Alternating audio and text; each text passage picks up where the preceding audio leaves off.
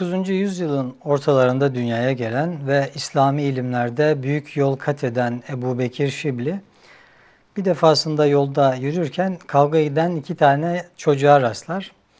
Bu çocuklar bir ceviz için kavga etmektedirler. Bir tanesi der ki o benim cevizim, öteki hayır benim cevizim diye kavga eder, etmektedirler. Ebu Bekir Şibli aralarına girer, onları ayırır, durun der, ne yapıyorsunuz der. Bütün kavganız bir ceviz için mi? Şöyle yapalım der, ben şimdi cevizi ikiye böleceğim, yarısını sana, yarısını ona vereceğim der. Çocuklar kabul ederler. Ebu Bekir Şibli alır, cevizi kırar fakat bir de bakarlar ki cevizin içi boşmuş. Çocuklar cevizden umutlarını kesip tam dönüp gitmeye meylederken onları durdurur. Durun der, durun çocuklar. Şu ceviz var ya nasıl ki bu boş ise bu dünyada tıpkı bu cevize benzer. İnsanlar bu ceviz için kavga ederler, dururlar. Fakat bir de bakarlar ki ceviz boş çıkar. İşte dünyada bu ceviz gibi insanlar kavga eder, dururlar ve karşılarına bomboş bir sayfa çıkar. Evet kıymetli TV 111 izleyicileri bugün şehri Ramazan'ın 7. günündeyiz. Ee, aynı zamanda ilk cumasındayız. İlk cumasını bugün eda ettik. Ee, bugün yine önemli bir konumuz var. Biz Metin Karabaşoğlu abimizle beraber buradayız. Fakat konuğumuz e, henüz gelemediler. İstanbul trafiği malum ama yoldalar inşallah. Biz girizgahı açılış yaptıktan sonra kendilerinde burada olacağını biz arzu ediyoruz, dua ediyoruz. Bugünkü konumuz müminlerin bitmeyen imtihanı dünyevileşme. Gerçekten çok önemli bir konu. Ee, hakikaten az önceki kıssada, hikayede de e, anlatıldığı gibi insanların üzerinde hırsla durduğu ama hangi sonuca mal olacağını çok da hesap edemediği bir mesele dünyevileşme. Bizim önemli sıkıntılarımızdan bir tanesi. İşte bugün e, Metin Karabaşoğlu abimiz ve konuğumuzla beraber, konuğumuz kim? Konuğumuz araştırmacı, gazeteci, yazar Müfit Yüksel hocamız. Birazdan gelecekler. Biz inşallah ona dair, onu tanıtmaya dair kısma o geldiğinde gireriz. Önce Metin abiyle beraber biz e, bu günün konusuna kısaca başlayalım. Metin abi bugün nasılsınız abi? Ya da şöyle diyeyim. Hani derler ya bugün Aşırı Allah için dinletmeyecek misin bu arada? dinleyeceğiz inşallah. hani derler ya bugün Allah için ne yaptın? Allah için bugün nasıl geçti abi? Vallahi e, Başta oruçlu geçti. evet elhamdülillah yani oruç evet orucumuzu tuttuk namazlarımızı kıldık E, Evet. ama daha fazla ne yaptık bir şey yapmadık herhalde yani insan e, bütün anları bütün dakikaları onun yolunda geçsin e, Evet. istiyor İnşallah Allah nasip eder. Gerçi oruçluyken hani e, o olmuş oluyor galiba değil mi en azından? Yani E, tabii evet. oruçluyken Oruç- zaten bütün anlar ibadet hükmüne geçiyor Doğru. değil mi? Otursak da, e, uyusak da hatta. Hani ibadet birinci gün halinde. hatırlarsanız Evet. Mehmet Fırıncı abi Bediüzzaman uygulamasından haber vermişti. Gece uyumuyor, sürekli kaim ama gündüzleri istirahat ediyor. Gerekçesi Ramazan'da, sebebi de evet. oruçluyken zaten ibadet halinde olduğu için Evet. uyurken de ibadet haline geçiyormuş. Demek Evet. ki yani uyurken de Evet. ibadet haline gelebiliyor. Abi Aşrı Şerif dediniz. Aşrı Şerif'i dinleyeceğiz ama ben kısaca bir şeye temas etmek istiyorum. Şimdi elimde yeni çıkmış bir kitap var. Böyle kırmızı şöyle göstereyim. Kırmızı kapağı olan bir kitap. İsmi de Saykal. Müellifi kim? Metin Karabaşoğlu abimiz. Ee, Şener Bostaş abimiz, TV111'in genel yayın yönetmeni. Şener Bostaş abimizle söyleşi tarzında yapılmış bir çalışma. Tabii yeni çıkmış. Esasen hani e, TV 111'in bir şey meyvesi. Hani onu Öyle da mi? söyleyelim. E, hani geçen e, evet yeni çıktı kitap olarak yeni çıktı. Evet, geçen yeni Ağustos gördüm, evet. ayında e, yani malum 15 Temmuz'da o darbe teşebbüsü olduktan sonra çok fa- e, farklı değişik şeylerle de yüz yüze geldik. E, nasıl hani birileri e, işte e, bu memlekete, bu millete karşı bir darbe teşebbüsünde e, bulunduysa bu defa o darbe teşebbüsünde bulunanlar üzerinden defa malum bütün dine, e, dindarlara hücum eden e, kesimler oldu. Evet maalesef. Defa e, dindarların içerisinden bazıları cemaatlere, tarikatlara e, şey fatura kesmeye çalışanlar oldu daha böyle toptan bir şekilde ve de E, bir grup da kasıtlı bir şekilde, ısrarlı bir şekilde faturayı Risale-i Nur'un e, üzerine yazma gibi bir teşebbüs içerisinde e, olmuşlar ve orada ta işte bu kitapta da zaten anlatıyoruz. 30'lu, 40'lı, 50'li, 60'lı yıllardan itibaren üretilmiş belli şeyleri e, defalarca yani yalan olduğu, yanlış olduğu, iftira olduğu ortaya konmuş şeyleri e, tekrar gündeme e, getirmeye çalıştılar birileri. Dolayısıyla ona bir cevap verme ihtiyacı hasıl olmuştu. O zaman e, işte Şener'le birlikte biz üç gün canlı yayın yaptık. Hmm. Alternatif Bakış Özel diye. Evet. E, 15 saat. Maşallah. E, sonra e, onun e, o program çok o, f- şey de oldu, e, olumlu çok güzel e, şeyler de, geri dönüşler de e, aldık.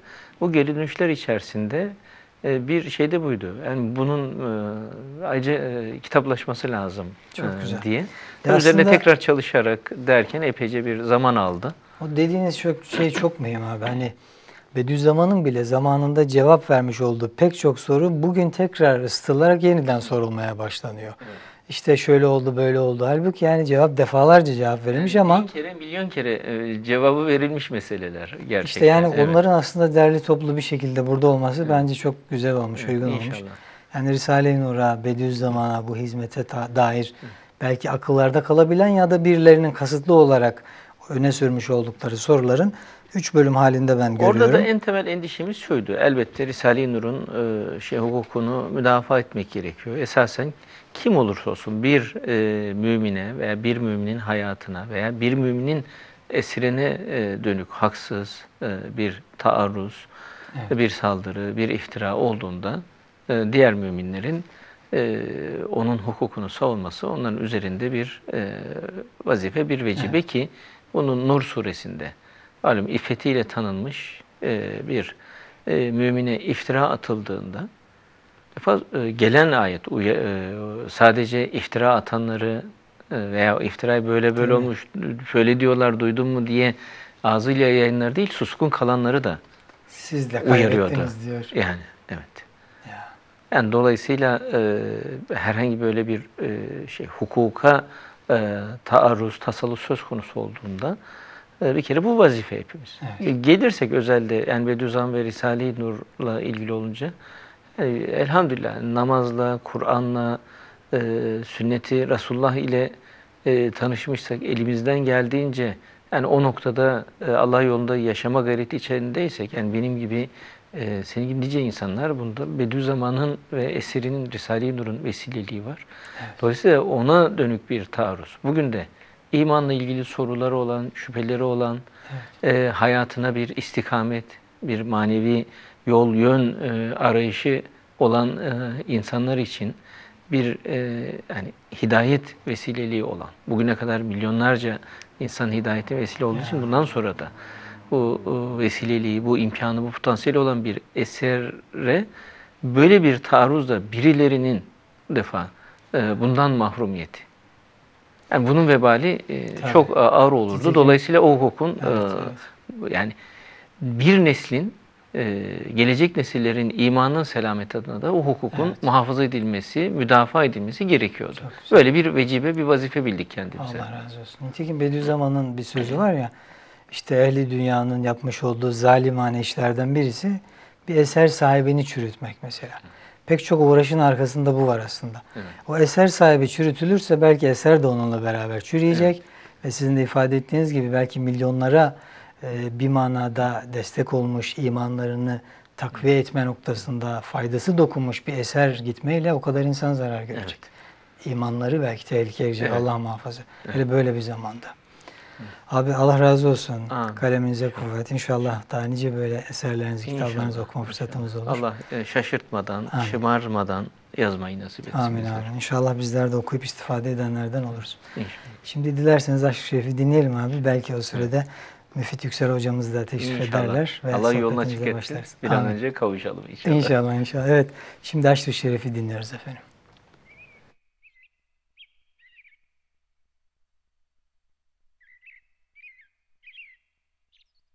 أعوذ بالله من الشيطان الرجيم. بسم الله الرحمن الرحيم.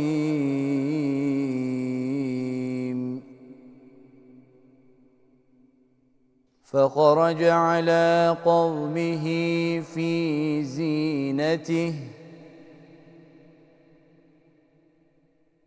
قال الذين يريدون الحياة الدنيا يا ليت لنا مثل ما أوتي قارون. ما أوتي قارون إنه لذو حظ عظيم.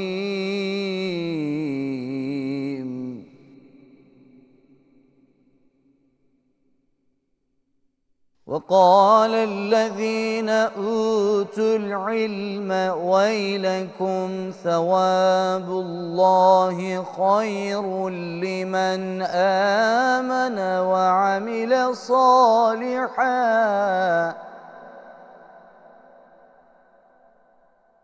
ولا يلقاها إلا الصابرون.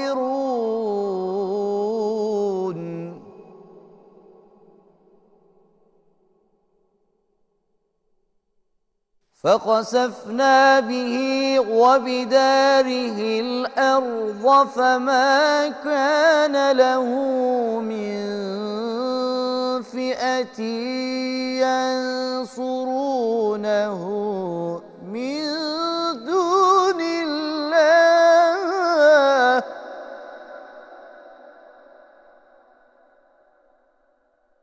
وما كان من المنتصرين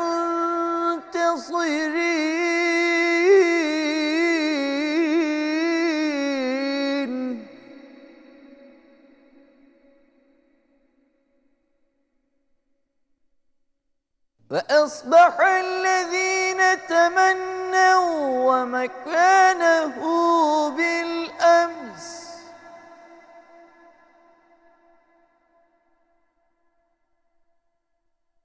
مكانه بالأمس يقولون ويك أن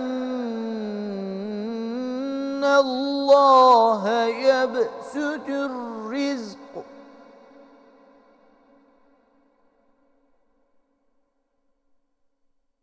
ويكأن الله يبسط الرزق لمن يشاء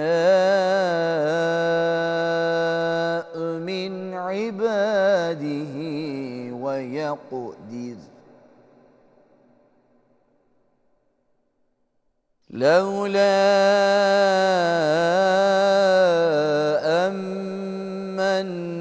الله علينا لخسف بنا. وكأنه لا يفلح الكافرون.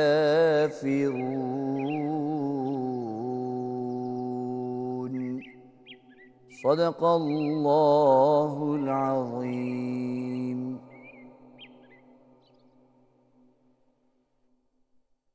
Evet kıymetli TV 111 izleyicileri, e, Şehri Ramazan programındayız. Faruk Furkan Diler hocamızdan Kasas suresinin 79'dan 82. ayet-i kerimeye kadarki kısmı dinledik, tilaveti dinledik. 3 ayet-i kerimeyi hatta 4 ayet-i kerimeyi dinledik. Burada konumuzla da doğrudan bağlantılı olan bir e, bölüm karşımıza geldi. Karun kıssası var. Evet, imrendiğimiz Evet. mal, imrendiğimiz hayat baksak. Evet. yani, evet. Zaten ayet-i kerimede de öyle diyor. Karun çıkıyor.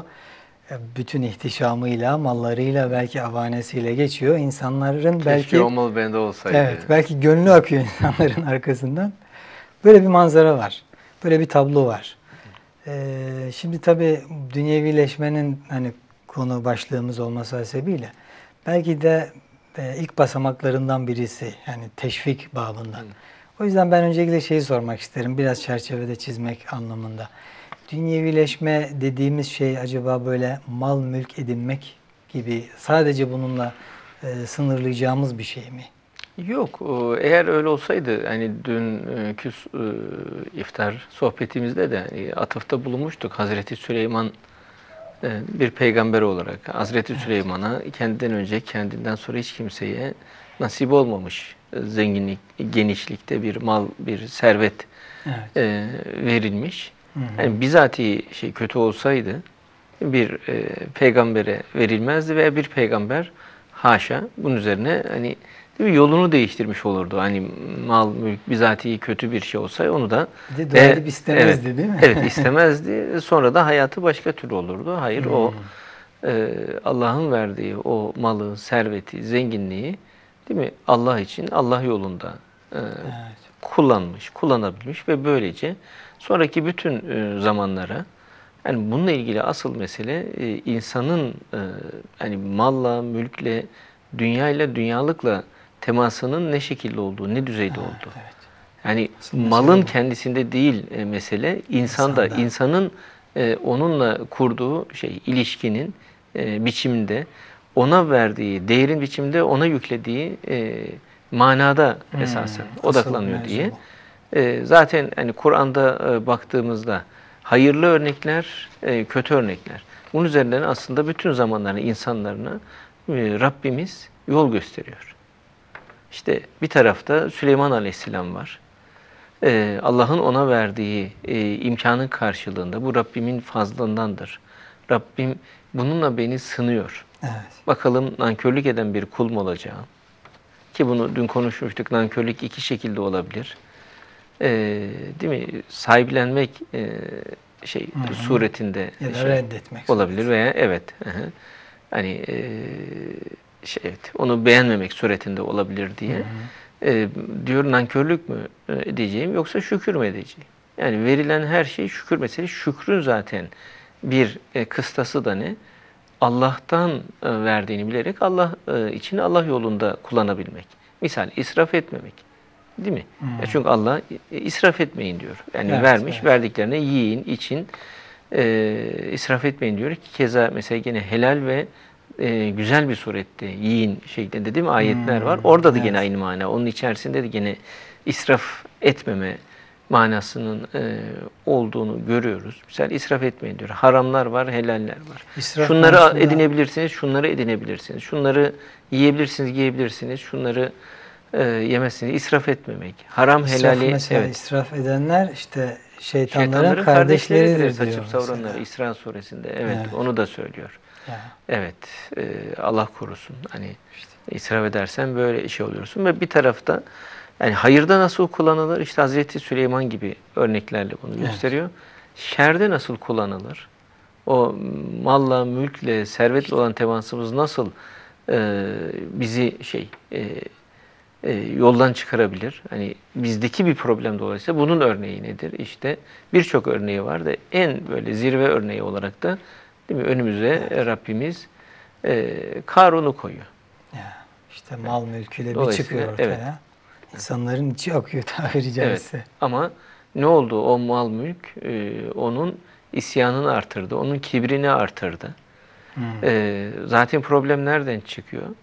E, Musa Aleyhisselam zamanında malum e, ki Musa Aleyhisselam'ın e, akrabası e, da olduğunu, Ben İsrail'den bir isim zaten e, s- e, belirtili tefsirlerde filan e, Karun'un ama malından Allah'ın ona vermiş olduğu yani maldan e, Allah'ın e, başka kullarına işte zekat e, vermesi gerektiğinde artık o günkü miktar neydiyse bu e, emre e, isyan ediyor. Bilmem bunu bu bana bendeki ilim sayesinde İlim verildi kazandı. diyor. Ki bunu bak mesela enteresandır. Verildi diyor.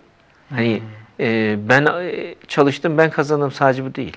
Orada o genişlikte bir servetin e, bir verilme tarafı. Allah tarafından Aslında e, farkında bir e, taraftan onun farkında. Ama neye bağlıyor? Bendeki ilim sayesinde Hmm. e, bana verildi. Dolayısıyla e, bu merkeze ne yerleşti? Ben, Ben yerleşti. yerleşti. İlim üzerinden. Bendeki ilim diyerek e, ben e, yerleşti. Dolayısıyla bendeki ilim sayesinde bu bana verildi. Benim hakkım. Başkasına vermem e, tavrına e, girdi. Halbuki zekatta zaten en temel ders ne? E, zekat esasen malın kırkta birini e, vermek veya işte belli şeylerde onda birini, yirmide birini değişik durumlarda vermek meselesi değil. Bu arada herhalde e, Galiba misafirimiz geldi galiba. Misafirimiz gelmiş Evet. olması lazım. Evet, inşallah e, biraz sonra beraber devam ederiz. Şunu da İnşallah. E, noktalayabiliriz e, bir şey eğer ara verilecek olursa. Zekatta nedir zaten mesele? E, zekatla biz malın kırkta birini, biz bizdeki malın kırkta birini bir başkasına verme imtihanı yaşamıyoruz. Zekat esasen malın kırkta kırkını Allah'tan bilme imtihanı. Mi? Dolayısıyla evet e, bize veren Allah, mülkün asıl sahibi Allah ve Allah'ın yani bütün şey kırkta kırkı da Allah'tan bilenlerdir ki Evet. o kırktan birini Allah'ın belirlediği sair kulları için e, sarf edebiliyorlar. Asgari miktar o da. 40'ta 2, 40'ta 3'e hani bir mani yok. Hazreti e. Ömer Abdurrahman İnav e, örneklerinde e, Hazreti Bekir İlahi bütün sahabelerin örneklerinde e, olduğu gibi. Evet. Yani neticede evet bir tarafta Süleyman Aleyhisselam e, dünyayla, servetle imtihan nasıl olur onun doğru ölçüsü öbür tarafta da e, bugün okunan aşırı şerifte olduğu gibi e, Karun. Karun nasıl olmamamız Gerektiği gerektiğinin örnek. yeni örneği. Evet. Şimdi abi İstanbul ustaları var. İstanbul ustalarını bir dinleyelim. Bu arada misafirimiz de inşallah teşrif ederler buraya. Sohbetimize birazdan üçlü olarak devam edelim. İnşallah. Evet şimdi İstanbul ustalarını izliyoruz.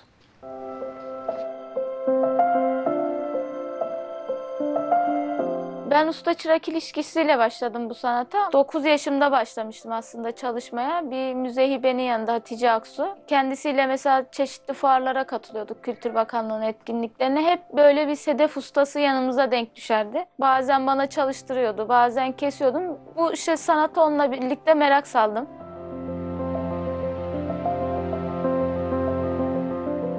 Başlayınca mesela ustam bana 6-7 ay zımpara yaptırdı. İlk başta ben anlayamamıştım bu kadar hani sedef düzeltmek çok zor. Günlerce, aylarca şey yapmanız gerekiyor malzeme hazırlığı. İnsanı hem çok yoruyor bir de bıktırıyor yani. Bütün gün mesela bunu düzeltmekle uğraşıyorsunuz. Ortaya bir şey çıkmayınca insan hani şey oluyor bir şey çıkaramayınca diyor hani böyle mi gidecek şeyle. Bu şeyi aslında ustalar onu deniyor ilk başta. Hani sabredecek mi, yapacak mı diye. Ustam bana bu, bu şekilde 6-7 ay zımpara yaptırdı. Ondan sonra bana testere verdi de elime bir şeyler kestirmeye başladı bırakmadığım için. Şu anda araştırdığınızda ustaların hepsi belirli bir yaş aralığındadır. Yani 60'lı 50'li hani onlardan sonra belki bu sedef sanatını gençlere taşıyabilecek çok kimse yok.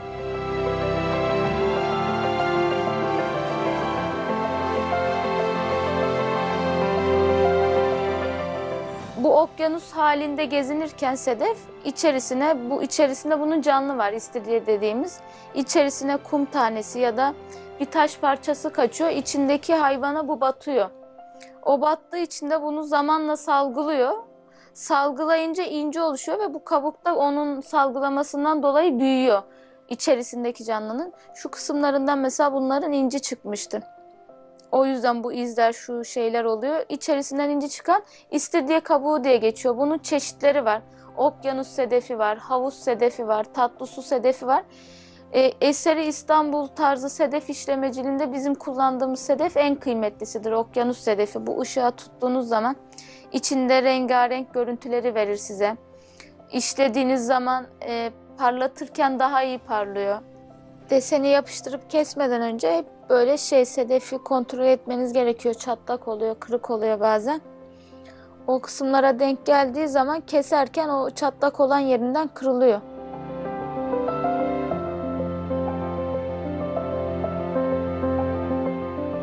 Aslında bu atölyem benim çok küçüklükten beri tutmak istediğim yerde. Hep önünden geçerken hani böyle burası benim olsa hayalini kurduğum bir yerde. O zaman içerisinde buranın başka bir usta vardı ahşap işi yapan. Tutacağım burayı ileride benim atölyem olacak diye bazen söylüyordum.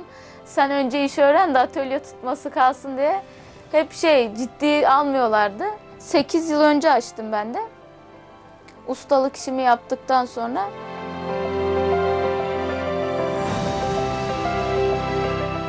içinde gelen kişiler oluyor. Atölyenize gelip bakıp çıkması değil de her gelen kişiyi sedef sanatında bilgilendirmeniz lazım. Çünkü baktığı işleri sorduğu zaman pahalı geliyor insanlara. İşlediğiniz desende hepsinde bir şey maneviyat oluyor. Bir yazı işliyorsunuz Allah'ın ismini. O size başka bir yere götürüyor, başka bir duygular veriyor. Bir desen işliyorsunuz. O desenin çizim şeyini düşünürken, çalışırken hepsi size aslında şey her yaptığınız işte, her işlediğiniz desende başka bir boyuta götürdüğü için böyle bazen burada bir hafta bir deseni kesmişiz onu fark etmiyoruz bile.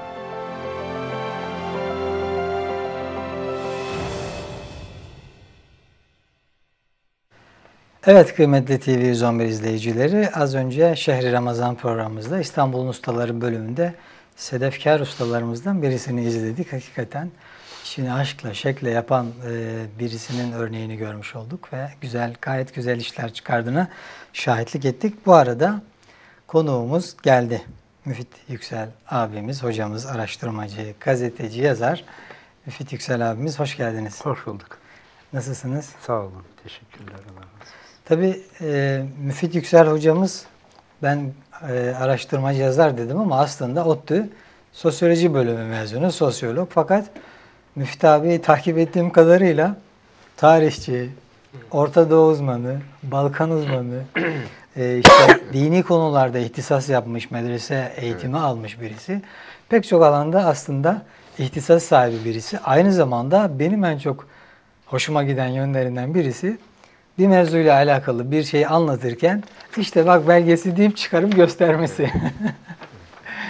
yani, Yani herhalde e, şahsi e, değil mi arşiv olarak özellikle Evet, değil mi Osmanlı belgeleri olarak yani Var, bilmiyorum, hayır. yani Evet. Müftü Hoca'nın ayarında çok az kişi vardır herhalde Hakikaten öyle. Türkiye'de. Yıllar Evet. önce bir e, konferansı olacaktı. Konferansına biraz geç kalmıştı. Ben onu hatırlıyorum. Geldiğinde hastaneden geldiğini öğrendik. O zaman öğrendiğimiz hastalığı da kitap tozu yutma hastalığıydı. Çok şaşırmıştık mesela. yani sürekli eski tarihi kitaplar, o e, kaynak teşkil eden eserler arasında Allah herkese o gezmekten dolayı. hastalıktan nasip etsin. Amin. evet Müfit Yüksel hocamızın tabi çok sayıda kitabı var. Ee, birkaç tanesini ben sayacak olursam Kürdistan'da değişim süreci çok e, eski kitaplardan bir tanesi. Sanırım 93. yıllarda çıkan bir tanesiydi. Sonra Simavna Kadısoğlu Şeyh Bedreddin. Bu sanırım birkaç farklı yayın evinden çıkan kitabı. Bektaşilik ve Mehmet Ali Hilmi Dede Baba isimli kitabı var. Aynı yıl yine aynı yayın evinden e, başka bir kitabı daha çıkıyor. E, evet aynı yayın evinden çıkan Simavna isimli kitabı. Sonra başka bir kitabı daha var. İslamsız Kürdistan Hayali ve Orta Doğu. Bu yakınlarda çıkan 2015 yılında çıkan kitabı. E, Müfit hocamız birkaç dil biliyor. İngilizce başka, Arapça, Farsça, Kürtçe, İbranice ve Yunanca eserleri üzerinde de araştırmalar yapabiliyor. Tabii ben şimdi bunu uzatsam gider bu.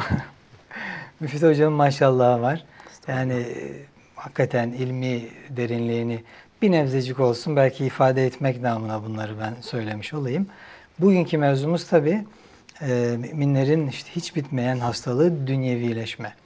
Müfit hocamız İslami ilimler konusunda da ciddi araştırmalar, çalışmalar yapan birisi olması hasebiyle bu konu kanaatimce en güzel bir ortamda konuşulur diye düşünüyorum. Müfit abi siz gelmeden biz bir girizgah yaptık dünyevileşme mevzuna. Genel hatlarıyla dünyevileşmenin e, adını koymaya çalıştık. Kasas suresinin e, 79.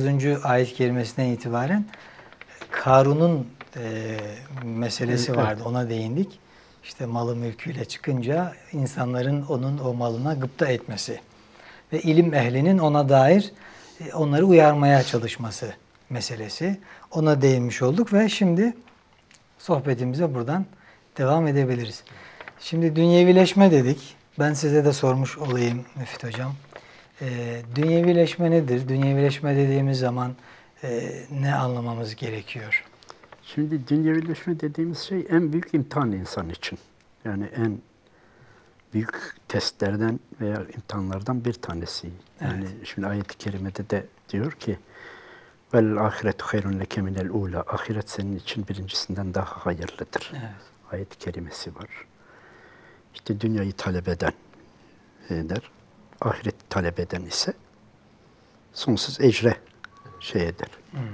Şimdi bu yönde hem hadis-i şeriflerde dünyanın bir lehif olduğu, ancak bir eğlence, böyle bir şey olduğuna dair. Tabii yani biri fani, biri e- ebedi hayat. Fani hayatın ebedi hayata tercih edilmesi meselesi. Yani bir tercih meselesi. İşte orada gafletten geliyor. Şimdi gaflet içerisinde o ahiret şey, şimdi perde var önünde, imtihan dünyasında. Teklif sırrı var. Dolayısıyla insan ne yapıyor? İnsan onları göremeyince o şey içerisinde gözü kamaşıyor. Şeytan aldatıyor bu konuda insanı. Evet. Ve dünyevileşme bu şekilde oluyor. Ee, eskiden toplumumuzda e, yani evet dünyayı şeyden, dünyeviliği terviç ettiren ya da göz kamaştıran şeyler bugünkü kadar değildi. Bugünle kıyasla, kıyaslanamaz bile. Yani eskiden insanlara ahireti hatırlatıcı insanlar, ahireti hatırlatıcı şeyler, eşyalar çok fazlaydı. Semboller. Evet, dünyayı hatırlatan şeyler daha azdı belki. Bugüne şey ettiğimizde, bugünle, bugünün şartlarına baktığımızda, e, bugün çok farklı bir şey var dünyevileşmede. Dünyevileşme dayatılıyor yani. Bir dayatma var. Teorik temeller ne kadar bunun? Fikri temeller ne kadar? Siyasal sistemlere kadar dayatılmış durumda bu. İslam aleminde de böyle bir şey var. Yani icbar ediliyor dünyevileşmeye. Ha, bu birçok şeyden kaynak. Bunun birçok argümanları var. Yani dünyevileşmenin dayatılması, yani günahın dayatılması diyelim ya da. Yani eskiden günahlar aleni olarak değil daha böyle gizli saklı şeyler olurdu. Bunu çok örneklerinde şey yapabiliriz. Böyle çarpıcı bir örnek verelim. Ankara'da mesela çok fazla gece kulüpleri falan vardır belli caddelerde bilmem nerelerde. Ee, ve bunlar hepsi alenidir yani bunlar. Fakat camiler hep o Ankara'nın göbeğinde olan kısımlarda. Merkezi o eski yani eski Ankara'nın şeyi değil, çevresini kastetmiyorum. Camiler hep böyle yer altında, binalar altında, Kuytularla. yer altında yani şeye yani alt kültür mekanları gibi adeta şey edilmiş, gizlenmiş vaziyette. Böyle bir tersine dönüş var. Tersine dönüş yani bir birçok alanda dayatma var. E ne oluyor? İnsanlara zaten cazibeli geliyor bir de. Nefse hoş geliyor. Nefse emmareyi okşuyor.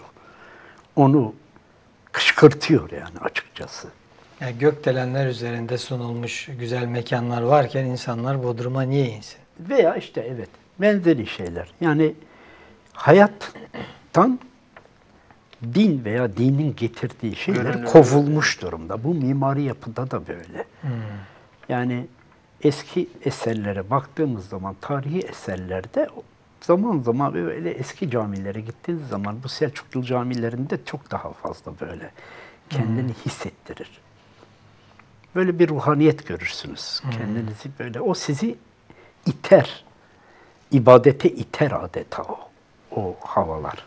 Ee, Diğer yerlere baktığınız zaman, modern mimaride olan yerlere baktığınız zaman o sizi dünyaya çeker. Böyle bir ruhaniyet ifade etmiyor.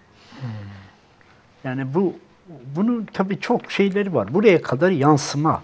İnsanın ruhu, insanın şeyi, insanların zihnin yapısı buralara kadar yansıyor. Evet. Örnek vereyim. Mekke Medine'ye bak gittiğimiz zaman Mescid-i Nebevi'de işte Ravza-i Mutahhara, Kabe ve yakın çevresi dışında bütün tarihi eserler şey edilmiş durumda, hedmedilmiş durumda. Karşısında işte kocaman tavırlar vesaire dikilmiş durumda. Hemen on adım öteye tavra giriyorsunuz. İşte orada alışveriş merkezleriyle falan karşılaşıyorsunuz. Fecaat bir olay bu. Evet. Bu fecaat Medine-i Münevvere'de de bakıyorsunuz işte Ravza-i Müttahara bir de Osmanlı yapısı olan Gamame Mescidi'nde kendinizi biraz böyle şeye verebiliyorsunuz. O ruhaniyet alemine verebiliyorsunuz. Demek ki insanların ve zihinlerin ve zamanın ruhu siniyor. Binalara bile sinecek kadar şey. Ama modern dönemin getirdiği bu dünyevileşme dayatması çok ciddi bir dayatma. Her tarafını, insan hayatının her tarafını kuşatmış vaziyette. Bu kuşatmanın getirdiği bir şey içerisinde bir nispeten bir çaresizlik de söz konusu. Bir taraftan dayatma, bir taraftan çaresizlik. Kendine ait olanı koruyamama. Koruyabilecek mekanlardan dahi mahrum edilme gibi bir durum. Tabii bu birkaç yüzyıldır İslam aleminin geçirdiği inkıraz, bu inkırazın getirdiği travmalar ve bu travmaların getirdiği zihin yapısındaki değişimlerinde. Bu zihin yapısındaki değişim nedir? Batılılaşma. Evet. Batılılaşma ideolojisi. Ben buna biraz mağlubiyet ideolojisi diyorum. İslam alemine mağlubiyet ideolojisi. Daha Neden- güçlü olana benzemeye çalışmak. Benzemeye neden geri kaldık sorusu üzerinden üretilen fanteziler. Evet. Biz neden geri kaldık? Bu neden geri kaldık tabii şeye kadar gidiyor. Kemalizme kadar gider bunun sonucu veya başka zihniyetlere kadar gider. İslam aleminin çeşitli yerlerinde de bu sorular sorularak işte modernleşmeci akımların çıkmasının nedeni bu. Bunlar da bir dünyevileşme getirdi. Yani ben bugün de attığım bir şeyde eskiden aileler hatta böyle kısmen sekülerleşmiş aileler bile çocukları 7, 8, 9 yaşına geldiğinde eline bir cüz, elif cüz vererek hocalara gönderirlerdi. Evet. Ben de sordum. Şimdi bu geleneği takip eden şu anda aile demedim. Kaç tane İslamcı var dedim. Bıraktım diğerlerini. Kaç tane İslamcı var diye sordum. Böyle bir kutsal geleneği sürdüren dedim. Yani buraya kadar bir tersine dönüşüm var. Yani bu bir ontolojik bir şey, kırılma. Peki, peki bunda biraz refaha kavuşma, zenginliğe kavuşmanın da acaba etkisi var mı? Çünkü Bir taraftan ulaşamama, bir taraftan kavuşma. Her ikisi de o travmayı getiriyor. Hmm. Yani kavuşamama işte onu hep onu talep etmeye doğru gidiyor. O gözünü kamaştırıyor. Yani bir tane Mısırlı birisinin Menazır Avru- Acayip Avrupa diye 1911'de yayınladığı Arapça bir kitap var Mısır'da. Evet. İstanbul'dan başlayarak Brüksel'e, Paris'e, Londra'ya kadar gezmiş, fotoğraflamış vesaire. Adam cennete gittiğini zannetmiş adeta. Allah Allah. Öyle bir ifadeler kullanmış ki bu Arapça eserde. Adam kendisini işte Paris'in o ışıltılı şeyleri bilmem neleri falan. Yani 1911 şartlarındaki Paris'in o şeylerine bugün baksak belki burun kıvırırız. Ya. Değil mi? Yani şimdi bizim için hiçbir şey ifade etmez onlar. Anlamsız. Yani e, ama bir ciddi bir göz kamaştırma. Hani diyarı küfrü gezdim, gezdim. Kaşhaneler gördüm, diyarı İslam'ı gezdim, viraneler gördüm. Evet. İşte bunda da bu tür şeylerde de ifade edilen bir şey var. Bu dünyevileşme hem bu anlamda oluyor hem de İslam aleminin modernleşmesi. Modern araçların hayatı kuşatması. Kentlerden başlayarak. Zaten bir de Jacoben bir şekilde batılılaşmanın olduğu İslam aleminin olduğu ülkelerde, özellikle Türkiye'de Müslümanlık şehirlerden kovularak yapıldı. Yani Türkiye'de resmi ideoloji Müslümanlığı şehirlerden kovdu. Bir şehirliye nasıl yaklaş, yakışır dindarlık? Ya. Şehirli biri nasıl dindar olabilir? Ya da dindar insan şehirli elit insanlar arasına nasıl girebilir? Nasıl hakaretler edildiğini, nasıl insanlarla alay edildiğini, nasıl dindar insanların bu şehirli elit tarafından aşağılandığını çocukluğumda yüzlerce kere şahit olmuşum. Allah Allah. Yani böyle bir şey var. E ne oluyor insanlarda? Herkes aynı direnci gösterebilecek bir o, o zemine, o kavi iman zeminine, o istihkama sahip olamıyor herkes. Ne oluyor? İnsanlar imanını kaybedebiliyor. Evet. Yani bir şey oluyor. Ya aşırı mağlubiyetler insanı o tepkiye şey ediyor. Evet. Ya da dediğim gibi göz kamaştırıcı o şeyler. Onları talep etme. Yani bir Abdullah Cevdet'in ateistleşme sürecini düşünün. Ya. Ya, da başka Ziya Gökalp'in veya başka kimselerin falan. O dönemde aslında çok sayıda insan var Çok sayıda. mi? Yani Başta hani- mütedeyinken sonradan evet ateizmin evet çok fazla. Yani çünkü mütedeyyin ailelerden çıkıyorlar. Nesilden nesile bu şekilde devrediyor. Yani bu Tanzimat'tan sonraki yani süreçte başladı. Bu zaman içerisinde o batı hayranlığı falan. Evet. Yani Mısır'da da işte Rıfat Tahtavi'den başlayan o zihniyet, anlayış orada da benzeri şeyler. Türkiye kadar tahibat olmadıysa da orada. Yani toplumsal anlamda. Çünkü Türkiye'de şehirden kovuldu. Şehirde yasaklandı din. Allah Allah. Yani kentte, kent ortamında din yasaklandı. Türkiye'de Ama bu. halbuki bugün hangi şeyle konuşursanız işte Türkiye hala işte İslami noktada ön planda. Yok hayır hayır. İslam yani. konusunda öncü. Yani bu bu evet yani potansiyel olarak ileriye yönelik vaat etme anlamında bir şeyler yapılabilme anlamında Türkiye stratejik olarak, coğrafi olarak çok en önemli merkezde duruyor. O tamam. coğrafi olarak. Vesaire olarak Evet. evet, yani Ee, ve geçmişi olarak Evet. fakat hani dindarlık oranı karşılaştırıldığında Mısır'la kıyas edilemez. Mısır'da namaz kılma oranları yüzde 85 falan yani camiler dolu. Hani beş vakit dolu yani şey değil, Türkiye gibi değil. Çünkü toplumsal hayatta dine din yasaklanmamış orada. Burada toplumsal hayatta, sosyal hayatta din yasaklandı. Şehirden Şöyle- kovuldu tamamen yani. Şöyle bir eleştiri oluyor Müftü Hocam. Mesela deniyor ki e, fakir ülkelerde mesela siz namaz örneğini verdiniz. İşte İslamiyete ya da dine bağlılık daha artıyor. İşte Türkiye nispeten daha zengin. Zengin ülkelerde dindarlık oranı azalır. Yani refah seviyesi yükseldikçe, zenginlik yükseldikçe dini dine olan o bağlılık da azalır. Türkiye daha zengin o yüzden Türkiye e, din konusunda işte biraz daha geri duruyor. O- Ya da diğer batı ülkeleri mesela daha zengin oldukları için mesela bazı ülkelerde ateizm diğer bütün dinlerin kat kat önünde. Şeyde diyelim e, nerede bu işte Batı Avrupa ülkelerine baktığımızda İtalya'da Katolik olan ülkelerde dindarlık katsayısı daha fazla, Protestan ülkelerde çok daha az. Şimdi bunu bu modernleşmenin getirdiği genel olarak evrensel bir kaide değil. Evet insanlar şey et, mal mülk bilik biriktirdikçe dünyevi şeylere sahip oldukça uzaklaştırır bu. Bu, bu bir e, evet böyle bir şey var ama e, fakat işte şehirleştikçe ya da şey oldukça böyle bir şey olur demek biraz zor çünkü Osmanlı'da şehir daha dindardı. Kırsal dindar değildi. Evet. Osmanlı'da kırsal dindar değildi. Evet. Sorun kırsaldaydı.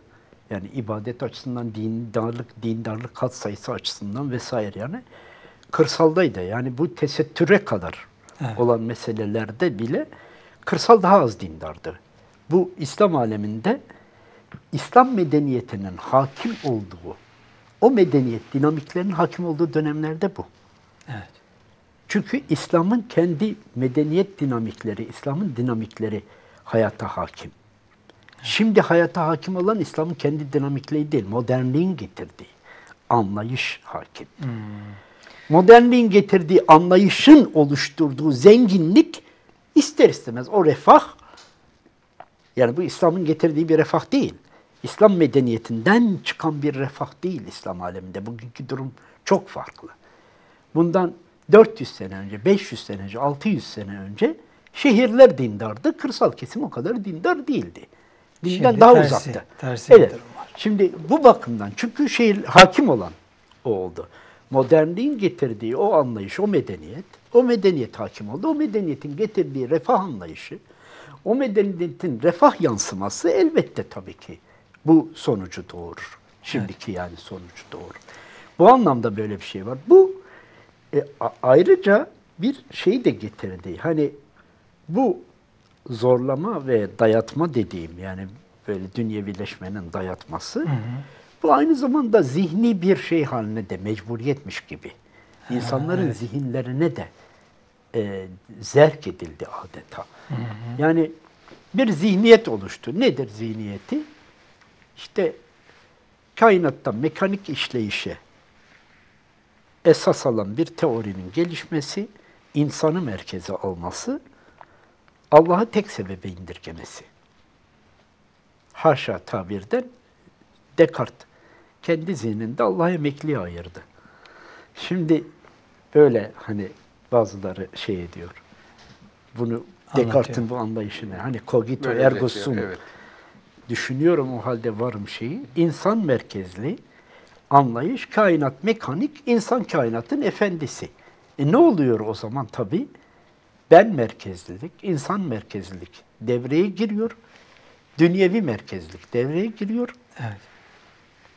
Allah'ı merkeze alan, Allah'a yakınlaşmayı, Allah'a kul olmayı, Allah'ın yarattığı bir şey olmayı merkeze alan bir anlayışın zihniyet olarak da ideolojik olarak haline getirilip tasfiye edildiği diğer şeylerin yani dini alanın tasfiye edildiği bir yapı var.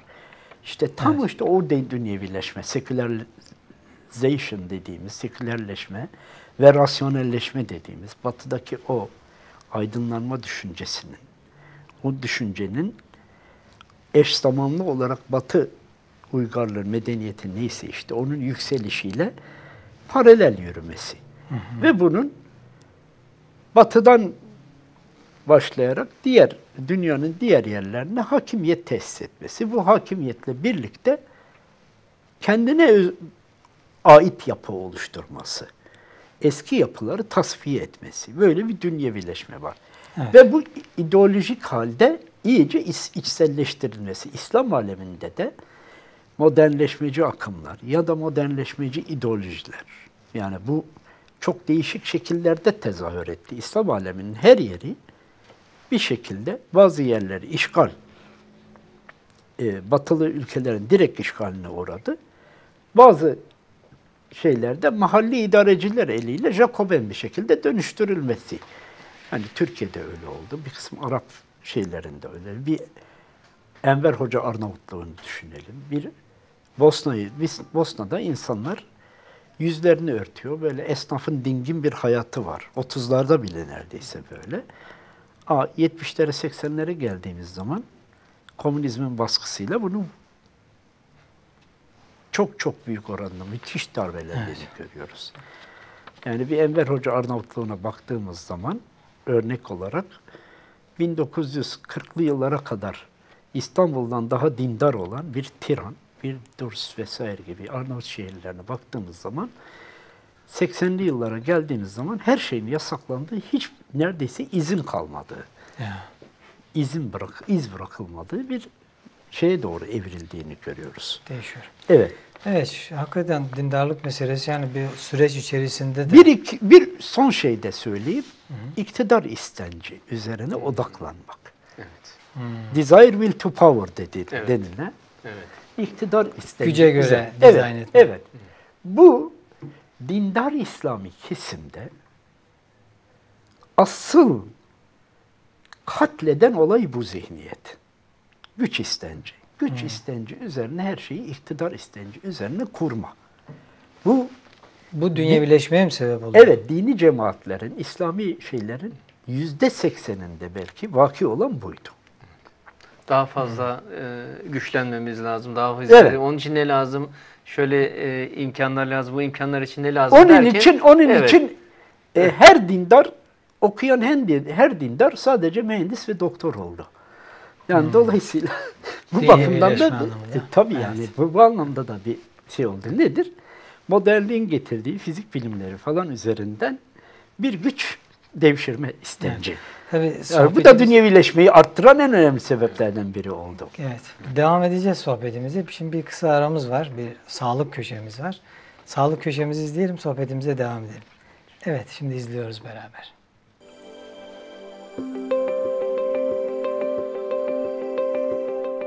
sahur ve iftar yani daha doğrusu iftar ve sahur arasında muhakkak 2 litreye yakın su tüketimini hedeflememiz lazım. Yani 2 litrenin altına düşmememiz lazım.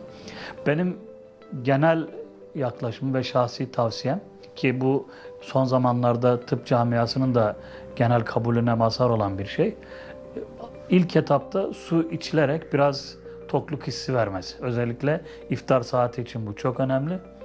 Ee, Mesela hemen e, iftara başlar başlamaz iki bardak su içip ondan sonra iftarı yapıyor olmak ondan sonraki süreçlerde çok ağır yüklenmeleri bir nebze bertaraf edecektir ki su da aslında gün içi en çok ihtiyaç duyacağımız şeylerden biri ve mümkün mertebe sahurda çok ağır bir e, su yüklenmesi yerine iftardan sonra yavaş yavaş sahura kadar yaydığımız bir su tüketimi daha sağlıklı olacaktır.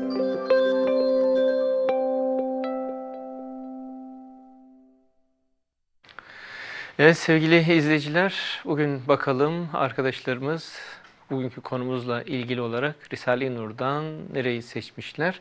Kastamonu layıkasından 70. mektup. Ki Kastamonu layıkasına baktığımızda demek ki o dönemde ciddi bir dünyevileşme imtihanı olmuş. Tabii Dünya Savaşı şartları birçok mektupta Bediüzzaman'ın bu dünyevileşme imtihanına e, dikkat çektiğini görüyoruz. O mektuplardan birinde diyor ki Bediüzzaman seçilen bugünkü paragrafta bu asrın bir hassası şudur ki hayatı dünyeviyeyi hayatı bakiyeyi bilerek tercih ettiriyor. Öyle bilmeyerek, unutarak vesaire değil. Bu asrın hassası şudur ki hayatı dünyeviyeyi hayatı bakiyeye bilerek tercih ettiriyor. Yani kırılacak bir cam parçasını baki elmaslara bildiği halde tercih etmek. Camı cam olarak, elması elmas olarak bildiği halde kırılacak bir cam parçasını baki elmaslara bildiği halde tercih etmek bir düstur hükmüne geçmiş. Bu asırda hayat insaniye, hususan hayat içtimaiyesi öyle dehşetli fakat cazibeli ve elim fakat meraklı bir vaziyet almış ki insanın ulvi latifelerini ve kalp ve aklını nefsi emaresinin arkasına düşürüp pervane gibi o fitne ateşlerine düşürttürüyor. Devamı var. Evet, insaniyetin yaşamak damarı ve hıfzı hayat cihazı bu asırda israfatla ve iktisatsızlık ve kanaatsizlik ve hırs yüzünden bereketin kalkmasıyla ve fakru zaruret, maişet ziyadeleşmesiyle o derece o damar yaralanmış ve şerait hayatın ağırlaşmasıyla o derece zedelenmiş ve mütemadiyen ehli dalalet nazarı dikkati şu hayata celp ede ede ki Müfit hocamızın az önce e, temas ettiği kısımlar özellikle bunun izahıydı. Ve mütemadiyen ehli dalalet nazarı dikkati şu hayata celbede ede o derece nazarı dikkati kendine celbetmiş ki edna bir hay, hacatı hayatiyeyi basit, küçük, düşük e, düzeyde bir e, dünyevi bir e, ihtiyacı ne yapıyor?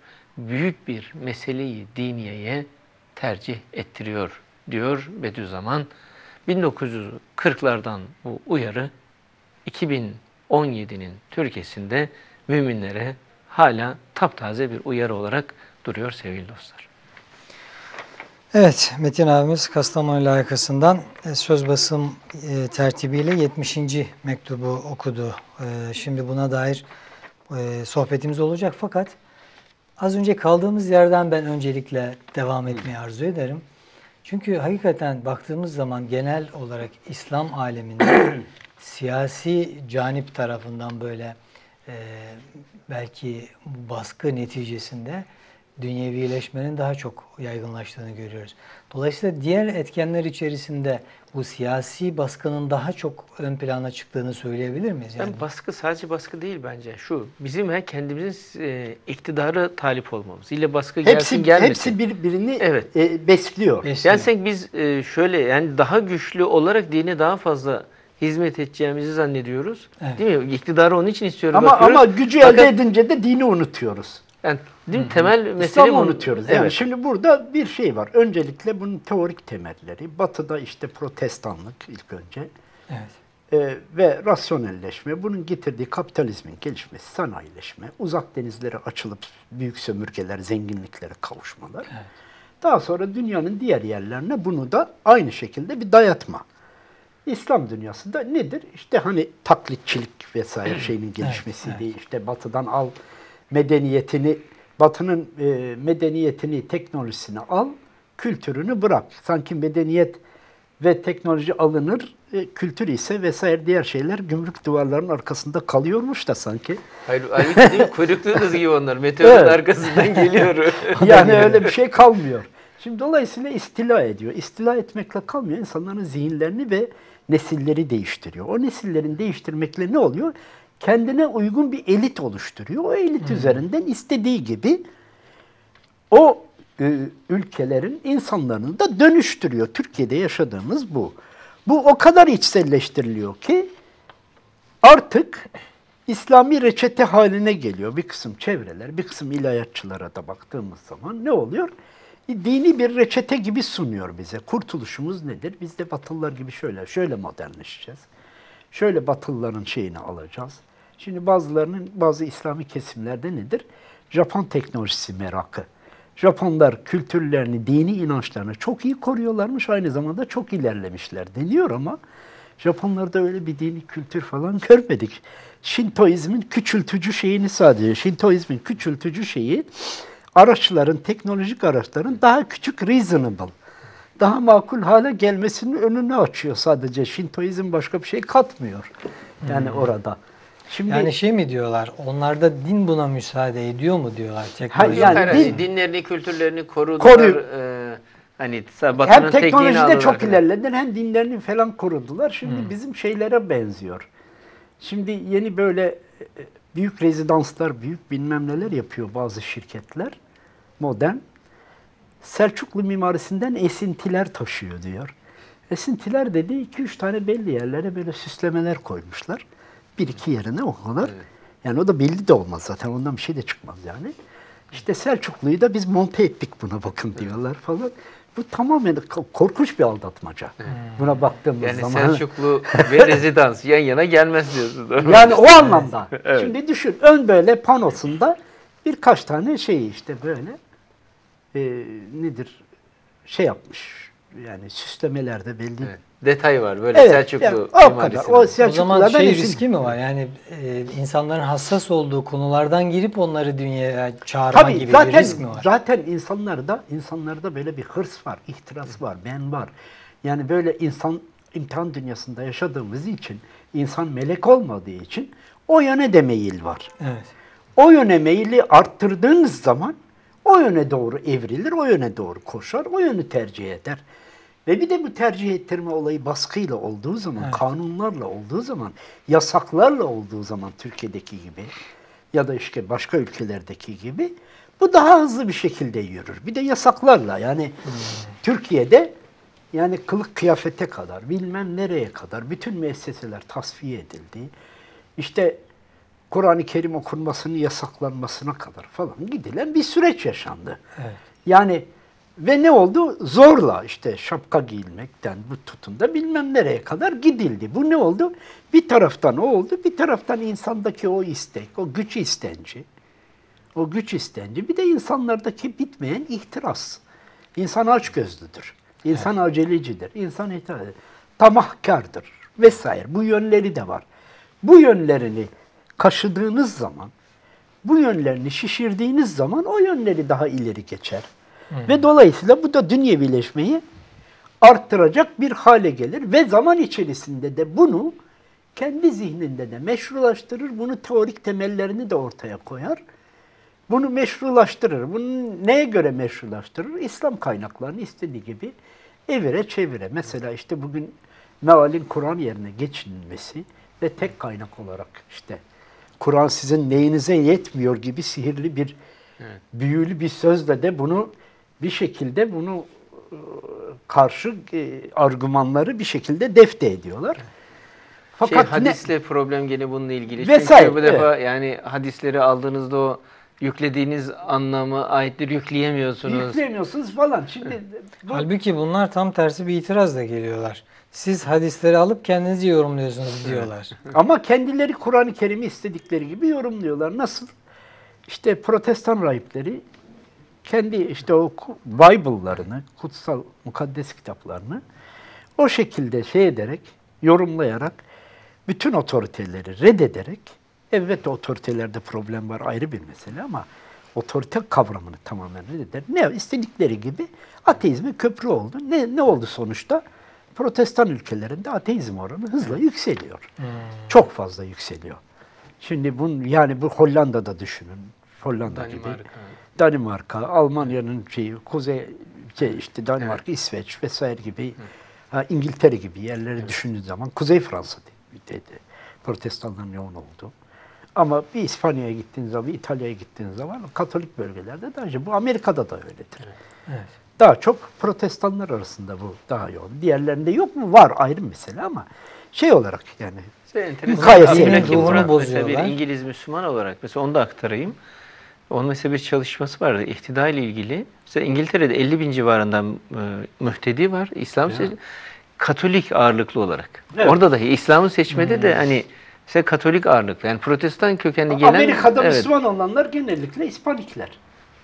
Katolik kökenli. Katolik Latin. Latin. Hani şey anlamda değil. Yani belli bir gene bir dini e, şey muhafaza etmişse kendince o oradan e, daha doğru hani arızalı da olsa oradan doğru olana geçmesi mümkün oluyor. Fakat e, değil mi nefsine göre veya hevasına göre veya şartlara göre eğer büker hale getirdiyse artık e, Zor oluyor. tutturamıyor hani Evet. e, Şimdi dikişi. burada bu e, şey var. Hani burada dünyevileşme var. Dünyayı bu anlamda talep etme var. Evet. İnsanların ihtiraslarının şey etmesi bencillik. Bir de genç kuşakların o şekilde yetişmesi. Sosyal medya vesaire gibi şeyler de ona hizmet ediyor. E, gençlik artık son derece bencil yetişiyor. Bireysel. Zaten şöyle bir düşünce var. Çok çalışmadan, çok yorulmadan çok kazanma. vesaire. Mesela. Evet. Yani her şeyi bir de yani e, ahlak modlarının hayatın mertebelerinde ya da hayatın basamaklarında ahlak kavramının da unutulmuş olması. Ahlak ve adalet kavramını da tamamen tasfiye ediyor bu. Evet. Çok kazanma, çok şey etmeye. Amerika'da böyle bir şey yok. Amerika'da mekanizmalar şimdi biraz böyle mekanizma işliyor diye düzen var. Yoksa o düzen çöker yani o anlamda. O kadar aşırı raka, raka- acımasız rekabetin olduğu bir hayat tarzı. Şimdi bu Türkiye'ye falan da geliyor. Ne oluyor? Gençlikte gençlikte ontolojik kırılmalar yaşanıyor. Ben bir yazımda da yazmıştım. Bir gün televizyon izliyor, iz- izlerken haberleri işte bir kısım gençlerin e, umre ve hac seyahatine rağbet ettiğini, gittiğini falan söylüyorlardı. Bir tane genç çiftle şey ediyorlar, ayaküstü röportaj yapıyordu televizyon. Ne hissediyorsun, ne şey edeceksin? Gençlerden erkek olanı bir tanesi işte kendisinin nasıl dua edeceğini söylüyordu. Kabe'de şöyle dua edecekmiş. Allah'ım sen bizi o kadar çok sev ki biz de seni sevelim. Pazarlık yapıyor yani. Allah Allah. Şimdi dolayısıyla şimdi ne oluyor bu sefer? Yani buraya çünkü ben merkezlilik o kadar aşılandı ki o kadar şimdi evet yani Türkiye gibi veya başka İslam ülkelerinde birey çok ezildi. Bu bir kısım cemaat yapılanmalarında da böyle oldu. Bireye önem verilmedi. Yani şahsi kemalat yerine daha çok o cemai yani şey diyelim cemaate Kolektif, evet. evet kolektif şey esas alındı. Cemai şey esas alındı. Orada şimdi orada bir e, e, sıkıntı oluştu. Ne oldu? Bu sefer de tam tersi. Birey olarak aşırı kendine güvenen, özgüven aşılanan yeni kuşaklar çıkmaya başladı ortaya. E, fakat şöyle oluyor. Sosyal medyada, sanal dünyada bunlar Atari'lerden ba- başlayarak şimdi işte san- sosyal medya falan diye derken sanal dünyada büyüdüler. Gerçek dünyada büyümediler. Ailelerinden uzak. Yani şöyle sanal dünyada her şeye, bütün dünyaya açık, gerçek hayatta annesine, babasına ve kardeşine bile yabancı. O kadar bireyselleşmiş bir yapı var. Bir taraftan çok fazla yalnızlaşıyor. Bir taraftan bütün dünyaya açıldığını zannediyor ama diğer taraftan gerçek hayatta son derece yalnızlar. Yalnız. Evet. O yalnızlığın verdiği o korkular da var aslında. Müthiş bir korku var. Bir taraftan kendine aşırı özgüven var o bireyselleşmenin getirdiği. Bir taraftan o korkularla, o özgüvenle bireyselleşmeden dolayı kendisine bir güvenlik çemberi çiziyor. Çizmesi neden dolayı? O korkulardan dolayı. Bu güvenlik çemberi dışında kalan herkesi kendine tehdit olarak algılanıyor, ailesi bile. Dolayısıyla ailesine karşı bile acımasız olabiliyorlar bunlar. Yeni kuşaklar. Bu ne oluyor? E, yani bundan daha dünyevilik artık olmaz bunun. Üst mertebesi olmaz. En üst mertebede bir dünyevileşme oluyor ve hiçbir ahlaki veya adalete ilişkin hiçbir ilkeyi tanımayan bir hale doğru evrilme söz konusu oluyor. Evet. Dolayısıyla bilgi ve hikmetten tamamen mahrum hale geliyor. Ya sohbet gayet güzel devam ediyor ama ezana da çok az bir vakit kaldı. Evet. Yani aslında Yani biz aslında iftarda devam edebileceğiz ama izleyicilerimiz aynen biz e, iftar esnasında devam edelim ama tabii vaktimizin sonuna geldik. Hocam Allah razı olsun. Ağzınıza, gönlünüze, üzerinize, sağlık. Aslında Ya biraz önce zihniyet problemini çözmemiz olduk, evet. lazım. evet. Önce şu yani fani dünyada biz imtihan için geldik. Biz Allah'a kuluz. evet, evet. Allah'ı ve ahireti unutturucu şeylerden nasıl uzaklaşabiliriz? Asıl mesele o. Allah'ı ve ahireti hatırlatacak şeyler. Önemli olan bu. insana öbür dünyayı hatır. Çünkü bu kaçınılmaz sonu hatırlatacak bir şey. Tehdit etmek değil. Çünkü bu imanla zinetlenir. Neye dönüşür? Saadete dönüşür imanla. Allah razı olsun. Ya böylelikle hani çareyi çözümü de almış Çare olduk sonra. nedir? İman zeminini müstahkem hale getirmek. Bediüzzaman'ın bütün amacı neydi? Son kalan kaleyi korumak. Korumak ve güçlendirmekti. A- aile konusu. Son kale. Son kaleydi İman çünkü. kalesi. İman Son kalesi. Allah razı Çünkü olsun. tehdit altındaydı. Evet. Çok teşekkür ediyoruz ağzınıza, gönlünüze, yüreğinize sağlık. Şöyle küçük bir hediyemiz var. Şöyle size takdim edelim. Hocam abi. en kısa hadisin böyle bir hatırlanması mahiyetinde. La La tağdap. tağdap. Evet. Evet. Çok Allah teşekkür razı ederiz. olsun. Çok sağ olun, var olun. Evet, kıymetli TV 111 izleyicileri, bugün de biz ayrılan vaktin sonuna geldik. Ezan okunmasına çok az bir vakit kaldı. Biz yarın tekrar aynı saatte yeni bir konu ve konukla huzurlarınızda olmak duasıyla hoşça kalın, Allah'a emanet olun diyoruz. Rabbim tuttuğumuz oruçları, yaptığımız bütün ibadetleri kabul buyursun inşallah.